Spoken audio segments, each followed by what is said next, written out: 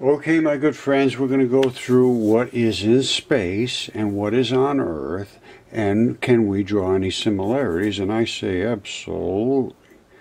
Now, they are categorizing bodies in space. Now, I don't think they realize it, but they are bodies. so I'm having a little fun with this, but it's uh, kind of easy to see what we got. You know, I was really surprised to see that NASA finally knows that these are bodies, and they're gonna they they have discovered them. Now they're going to categorize them and catalog these bodies that are floating around in space. So they discovered, and they are going to categorize them. I was very surprised that they admit that they are bodies. Now, so now what do they do? Do they pose a threat? You know, like that. I think that was a foot. I'm not sure which and or like this tendon ball. They're all over the place out there. Tyson had one just the other day. Let's take a look at Tyson's. Yeah, so this is Tyson's spot. He's this is all biological. These are the tendon balls, and that's that ring around there. Some of them are embedded, and they have a ring that holds them in place. Some of them are just completely round. Some of them have different variegations on the surfaces of them. Some of them are totally smooth. Some of them are in eggshell type configuration. Some of them have webbing inside. It's apparently all different, either creature. Well, I know there's different body places where they have different tendon constructions. It's just it is. But uh, is there different creatures that have them? We know we have dragons and snakes and all giants and all kinds of stuff. So who knows? All right, here's some more of Tyson's spot. This is a bilipid layer, which is like a cell membrane. It says that this is the top and that's the bottom. These are the protein ion channels. That this is biology up here, and down below there's biology. In between, there's this membrane, and it is look, it's gigantic. That's a membrane. You see the thickness between? That's the lower level of the membrane, that's the upper level. In between, there's some gooey stuff. And then there's like these tubes that run through that gooey stuff. Uh, I could show it to you, but Tyson has, and I have a million times. And they will not pay attention to reality. So, what do you do about that? You know, if you're paying them for your education and they're telling you that you have to say this is lava, then you've just been had. And it really, at this point, that degree is strictly an agreement to do whatever they tell you to do and to say whatever they tell you to say and to agree with whatever they tell you to agree with and not to make a fuss. And then they will sign off on you and then you can go get a job. Plus, you better be real nice to them to get your better grades because then you can get a better job. And make sure you pay a lot at the biggest and best schools because they are the ones that are going to get you the better jobs. And they are the ones that are the most obstructors of this reality. Just a fact. When and and I don't know how you're going to handle this. I don't. I would if I was a student. I don't know what I would do right now. I my son, both of my sons have college education. One of them doesn't have it. He was, my wife said, oh, just get him a regular education. I said, no, he should be something specific. And she won, of course. And so now he's, I don't know what he's going to do. Uh, my other son has a very, very good um, job that you, you you have to be highly trained for that. He's a master's from Rutgers and all that, and and it's working with equipment. It's not just theoretical stuff and being, oh, I'm so smart because I went to school.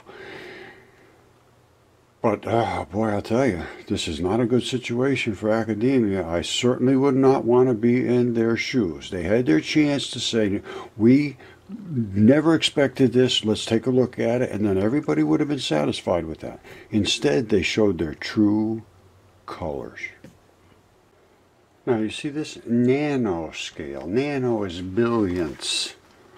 And this is what we were just looking at, is that cell membrane. And let's take a quick look a little closer, and what do we see? We see that lower layer that had those holes in it, like this. And then we see the upper layer up here, which is up on that cliff face. And these are the bumpy little things that we see with the holes in them. Now the tubes erode away. They just because the you know this is like a gooey. Um, these are fatty phospholipids or I, I am not sure what they are, but forget about it. They're just a weak spot. This is the strong layer, and that's the strong layer. This is the gooey stuff goes away. The tubes go with them. All right, you see what that is? That's the equilateral ridge on Iapetus, which is one of Saturn's moons. I think this is Tethys, which is another one, I believe, of Saturn's moons. There's Mimas. That's another one. I believe these are all Saturn's moons. But what I want you to focus in on is these. These are not impact craters. Alright, when you get into Tyson's video, watch that, and watch this, and watch here. That's Iapetus. And I, I, I, sent him, and he shows in it something from Lily Lavender. Lily, thank you, sweetheart. And it has that same thing. It's on a wall of muscle. It looks like mud to us, but it's right in that wall, and you can see that ridge around it. All right? It's, it is what it is. See, there it is. That's the one Lily sent me. That's got, that's, there's a the stalk comes down here. You can see where it wrapped around down here. This, believe it or not, is some form of biological tissue, whether it's muscle or it's the uh, interstitium. That's interstitium. I don't know. But I can tell you what, it's biology. Okay, so this is some more Tyson stuff.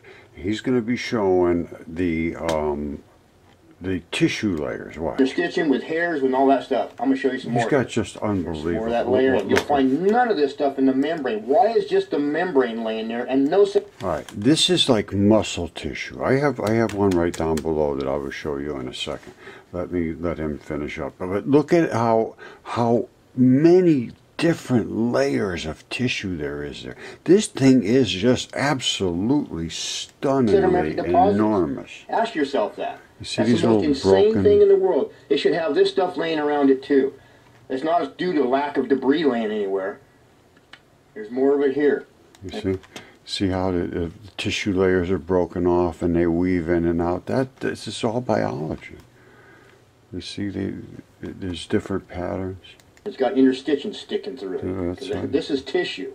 Right. So that's they would call this cross bedding ge geology, but that is not what this is. They talk about sedimentary layers and this and that. I mean, you can go 10 miles away, 5 miles away, and you'll find none of this. Exactly. There's different places in the body, there's different tissues, types and styles, and and um, you know some of it's tendon, some of it's muscle, some of it's bone, some of it is like um, like you said, interstitium, all kinds of different layers of biology that in us you can't tell because they're so small. You, you, nobody ever even knew they were there. but now we can see them. I mean, think about that on something that is 50 miles tall. I mean, these things, I, I have no idea how big they were. It's absolutely, well, I mean, the dragon's a thousand miles long. So think of what the tissue, I mean, it's just, it's just almost too much for the human mind to consider. But I also have the exact same stuff here, only it's, you know, not exactly that big. uh, I would need a little bigger bench. Now, let me show you something here. I've been looking at this. This is the same stuff. Same stuff as you guys there. You see the tissue layers there? I don't know if you can or not. But there's, they're there. Trust me, they're there. Now, and they weave in and out and and then there's like abrupt transitions and then there's the blocky stuff that he's looking at here and there where they snap off bundle fibers of muscles and so forth. Now something I was looking at with this I think this might be like a shoulder or something. Let me back out here. Alright you see you see this round spot here?